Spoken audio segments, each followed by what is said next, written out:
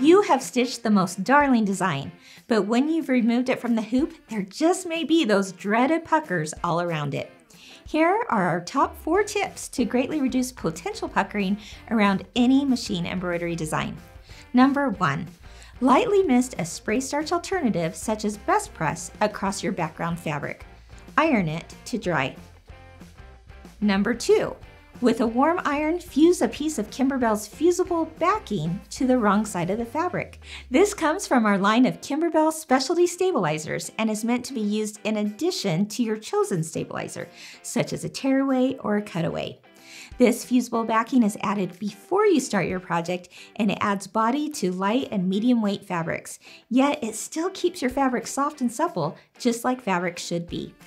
Number three, Choose a stabilizer weight that will handle more dense stitches. If your design has a medium to high stitch count, then a medium tearaway or cutaway will work well. To support stitch heavy designs, choose a heavy tearaway or cutaway stabilizer. And number four, Hoop the fused fabric and chosen stabilizer together.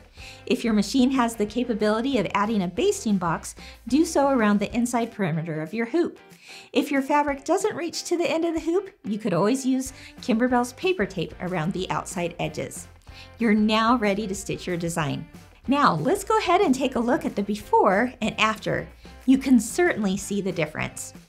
Visit Kimberbell.com for more tips on Kimberbell's specialty line of stabilizers.